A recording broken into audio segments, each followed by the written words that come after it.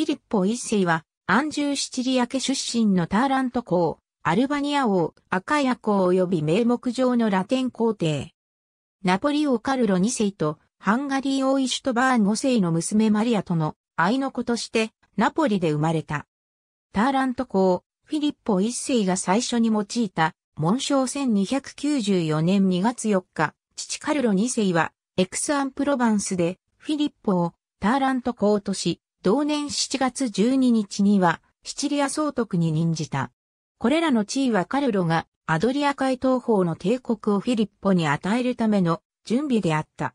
シチリア総督であった間にエピロス専制公、ニケフォロス一世の娘タマル・アンゲリナ・コムネナとの代理結婚を行った。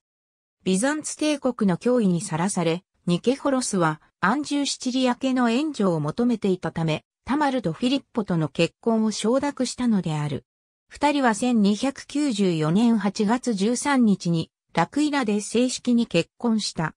この結婚時にカルロはアカイア及びアルバニア王国の総主権とラテン皇帝のすべての権利をフィリッポに譲渡した。ニケフォロスは娘の持参金としてアイトーリアにあるボニッツァ、ビラーチョバ、ジロカストラ及びナフパクトスの要塞をフィリッポに与え、自らの死後に息子トーマースではなく娘、ダマルを後継者とすることを決めた。1296年にニケフォロスが死去した際、フィリッポはルーマニア先制公を名乗り、エピロス、アイトーリア、アカルナニア、ダイブラギアの継承権を主張した。しかし、ニケフォロスの家父、アンナ・カンタクゼネーは、トーマースをエピロス先制公と公表し、自らは摂政となった。シチリア総督として、フィリッポは、シチリア版島戦争後期に、シチリア島の侵略に参加した。フィリッポの軍は1299年、フラコナラの戦いで、フェデリーコ2世に敗北し、1302年にカルタベロッタの和平が結ばれるまで、旅衆のみとなった。1306年、赤ヤ女皇、イザベル・ド・ビルアルドゥアンとその夫フィリッポ一世ディ、サボイアはナポリのカルロの宮廷を訪れた。フィリッポ・ディ・サボイアはその配信とカルロがエピロスの継承を請求していた時にカルロを支持しなかったことを求断された。また、イザベルはフィリッポとの結婚の許可を宗主から得ていなかったため、1306年5月5日にカルロは二人から赤い公位を剥奪し、行為を息子フィリッポに与えた。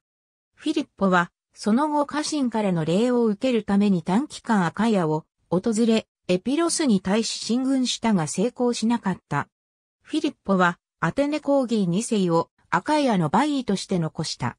一方、イザベルとその夫フィリッポ・ディサボヤは1307年5月11日、アルバ伯領と引き換えに赤屋に対する請求権を放棄した。二つ目の紋章。以前の紋章とラテン皇帝の紋章が組み合わされている。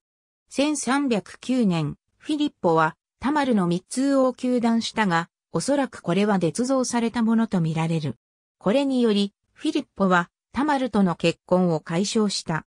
バロア伯、シャルルの娘で、名目上のラテン女帝であったカトリーヌ・ド・バロアは、ブルゴーニュ公で、名目上のテッサロニキ王であった遊具五世と婚約していたが破談となり、1313年7月29日にフォンテーヌブローでフィリッポと結婚した。代わりにカトリーヌの母方から相続したクルトネー及びその他の領地は遊具五世の妹でカトリーヌのイボアにフィリップと結婚したジャンヌに譲られた。遊具五世は後にブルゴーニアルトワ女伯となるジャンヌと婚約した。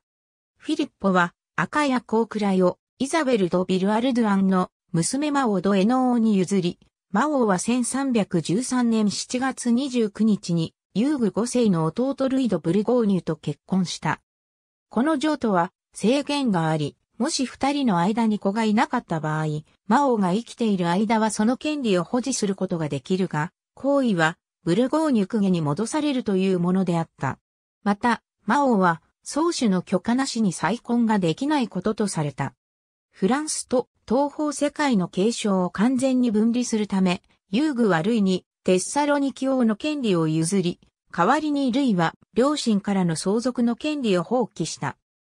フィリッポの長子カルロは、マオードエノーと婚約していたが破談となったため、カトリーヌ・ド・バロアの妹ジャンヌと婚約した。フィリッポはカルロに、ルーマニア先制公くらいとそれに付随する権利を譲った。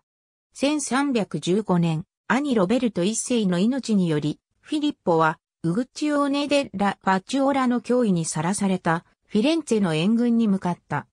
フィレンツェナポリ連合軍は1315年8月29日にモンテカティーニの戦いで敗北を喫し、フィリッポの弟ピエトロと長子カルロが戦死した。1316年にルイド・ブルゴーニュが死しなく死去し、アンジュー家の赤い政策が予期せぬ方向に向かった。魔王はロベルト一世により、フィリッポの弟ジョバンニと結婚することとなった。魔王は拒否したが、誘拐され、ナポリに連れてこられた。長い脅迫と説得の末、1318年に、魔王は結婚の承諾を強制され、フェデリコ・トロギシオが新しいバイーとして赤屋に派遣された。1320年ブルゴーニコウード4世は、長い抵抗の末、赤イアとテッサロニキの権利をクレルモンハクル一世に4万リーブルで売却することを承諾した。しかし、フィリッポはフランス王フィリップ5世から資金提供を受け、1321年に同額で赤屋の権利のみ購入した。一方、魔王はアビニョンの教皇のもとに連れてこられ、そこで密かにブルゴーニュ貴族、ユーグド・ラ・パリスと結婚していたことを明らかにした。魔王とジョバンニとの結婚は解消されたが、秘密裏の結婚はアンジュー家が赤屋を没収する口実を与えることとなった。当然ながら、赤イアはブルゴーニュ公に支払われた4万リーブルと引き換えに、直接ジョバンニに与えられた。魔王は、その後、ナポリで旅衆のまま生涯を送った。フィリッポは、ラテン帝国を取り戻すことを目論み、1318年には、老いのハンガリー王カーロン一世と同盟したが、果たすことはできなかった。1330年、最初の妻との間の最後の男子フィリッポが死去し、ルーマニア先制公の地位が自身に戻された。2年後、フィリッポの死によりその権利のすべては二度目の妻との間の長男ロベルトに継承された。1294年、エピロス先生公、ニケフォロス一世の娘タマル・アンゲリナ・コムネナと結婚したが、1309年離婚した。1313年、バロア博、シャルルの娘カトリーヌと結婚した。ありがとうございます。